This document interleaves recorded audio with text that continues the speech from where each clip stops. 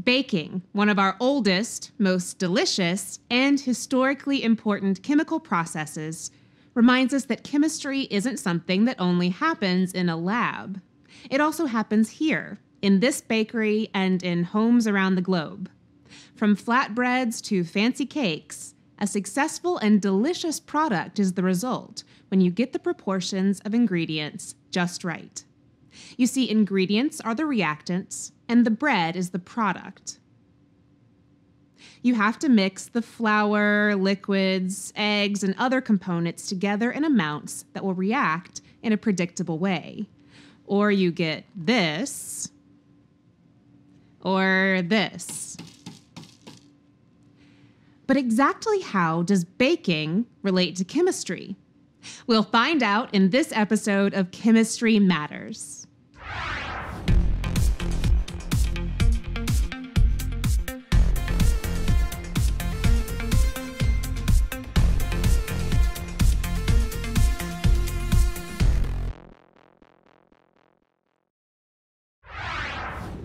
Welcome back to Chemistry Matters. This is the first video on the playlist for Unit 6, the mole and stoichiometry. The mole is just a number, a really, really large number, and we'll talk more about that shortly.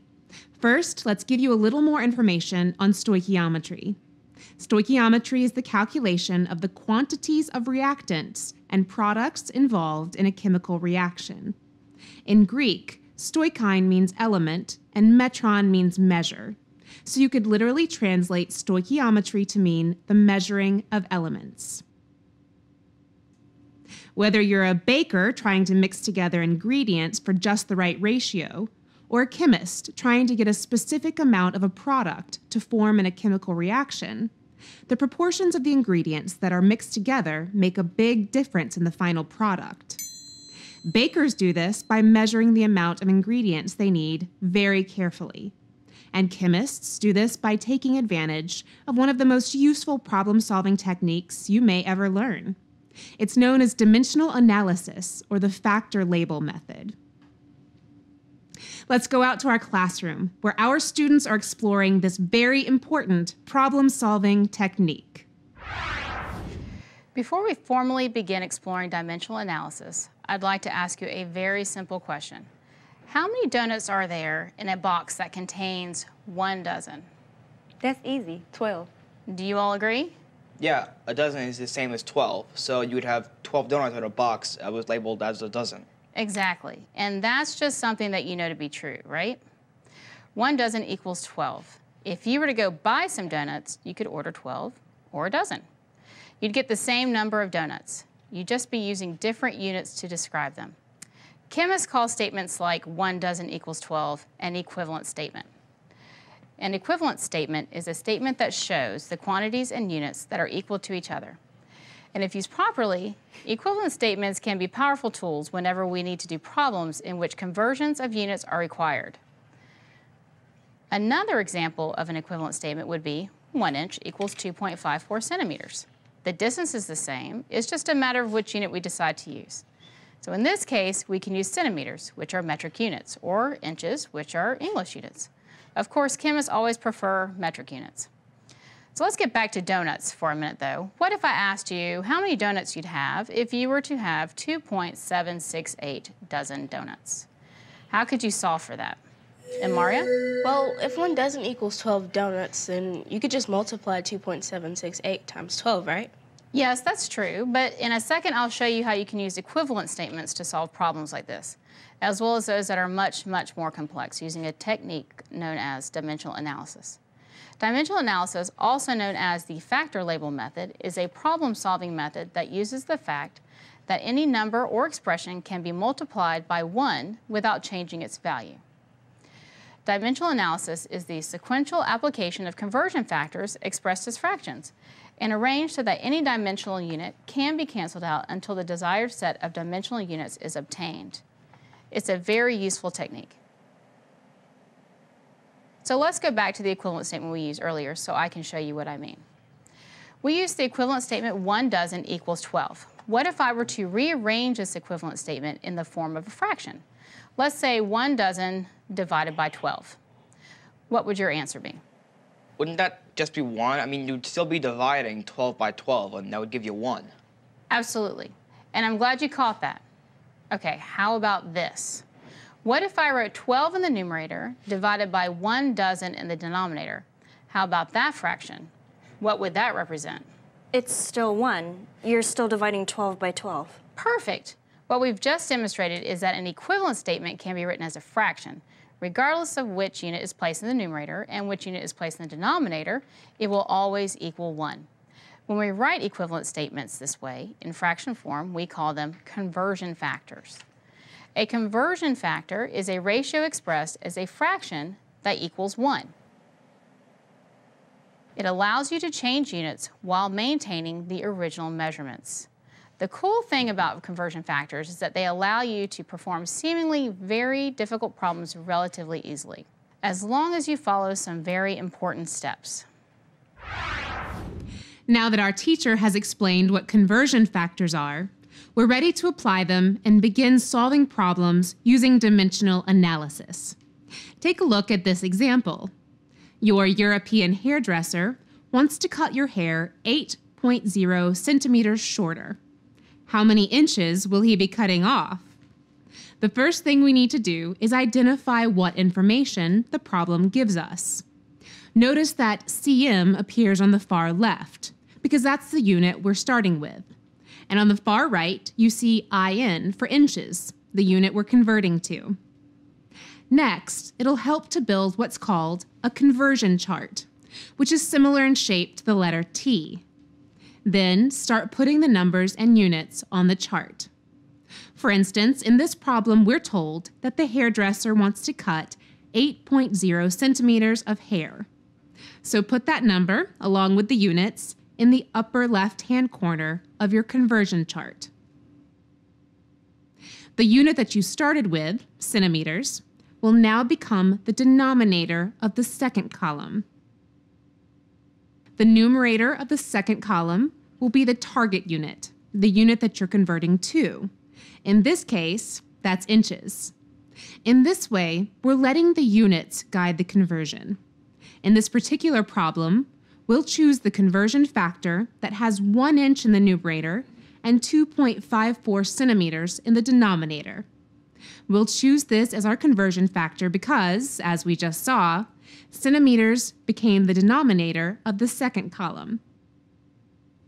And we needed to solve for inches since that's what the question originally requested.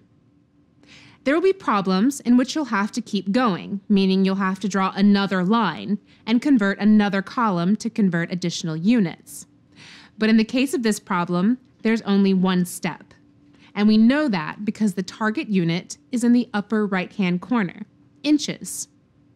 If a unit appears in both the numerator and the denominator, the units can cancel each other out. In our example, the centimeters in the first numerator cancel centimeters in the denominator in the next column. Then all we have to do is multiply the numbers found in the numerators together. And then we do the same thing with all of the numbers in the denominator. Then divide the product of all numerators by the product of all denominators. For this problem, that means multiplying 8.0 times 1, which is 8.0. And since we only have one value in the denominator, 2.54, we divide 8.0 by 2.54 to find that 8.0 centimeters equals 3.1 inches. Not every conversion is as straightforward as the one we just saw, but there are some basic steps we can follow to help guide us anytime we use dimensional analysis. First, we always want to identify what it is that's given to us in the problem. We'll start the conversion from this given value, the number and the unit. It's also helpful as you are first reading over the problem to make a notice to what you're solving for. In other words, what units am I going to have to convert to before I can finish the problem? And remember, if you do the setup correctly, the desired unit you're solving for will be what's left in the upper right-hand corner of your conversion chart at the end. Next, place the number that's given in the problem, along with its units, in the upper left-hand corner of a conversion chart. Choose a conversion factor that will get you to the next unit. Make sure the unit from the upper left also appears on the lower right. Let the units guide the conversion by lining up conversion factors so units cancel.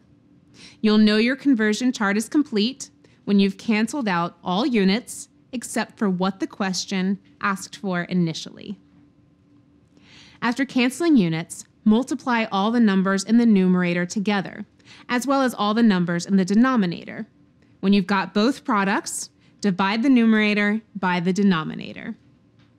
Lastly, you'll want to check units and your answer. Now let's go back out to our classroom where our teacher is ready to guide our students through a dimensional analysis calculation.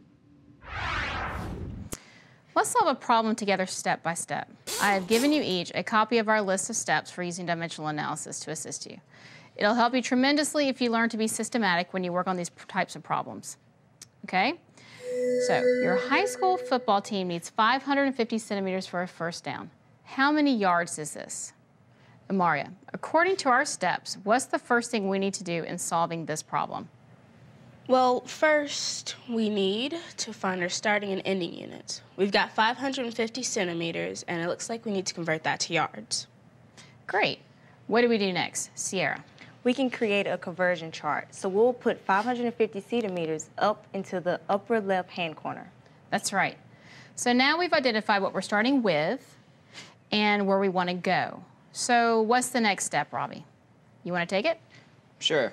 Uh, we need to choose a conversion factor. Perfect. Okay, now this step can be challenging. We need to determine which conversion factor to use for this step. We have centimeters, but eventually we're going to have to get to yards. Does anyone have any ideas?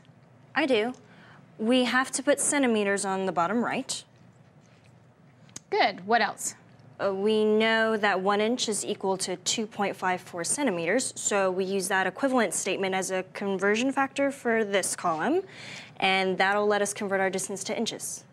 Right, and we bring the units of centimeters down to the right side's denominator because the units guide the conversion. Yeah, we need to convert from metric units to English units, and that conversion factor does it. Well done, everyone. Like Robbie said, notice the conversion factor. One inch equals 2.54 centimeters. Has centimeters in the denominator because we're letting the units guide the conversion. What should we do next? Well, according to the list you gave us, the next step for dimensional analysis is to line up conversion factors so the units cancel each other out. This will happen anytime the units appear in both the numerator and the denominator. Yeah, so we can cross out the centimeters. Great. Okay, are we done? No, because if we stop now, our answer would be in inches. We need yards. That's right. So what's the next step? Let the units guide the conversion. So we should bring down inches into the next denominator, then we need to convert inches to feet. That's exactly right. So what's the equivalent statement that you're going to use as a conversion factor here?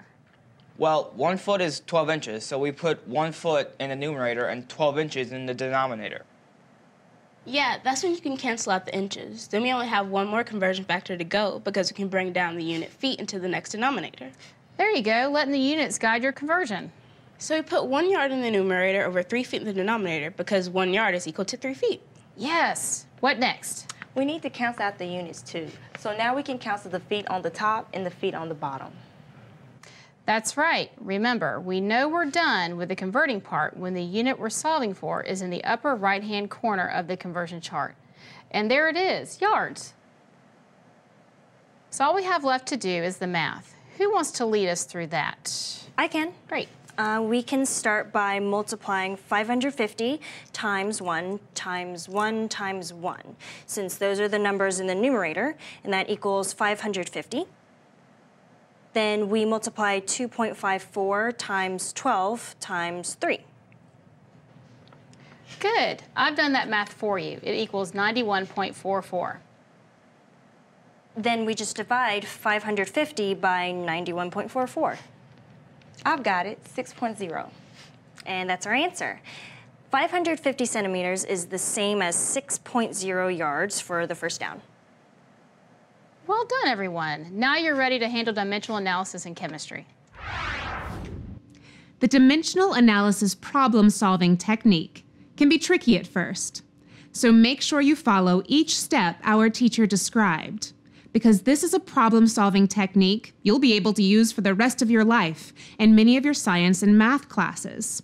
Really, any time you need to convert from one unit to another. We'll be using dimensional analysis extensively for the rest of this unit as we move into the concept of the mole and stoichiometry. So keep those step by step instructions handy. You can find this document in the Chemistry Matters Toolkit. And I'll see you at the top of the next video on the Unit 6 playlist, where we'll use dimensional analysis to help us calculate large numbers of very tiny particles atoms.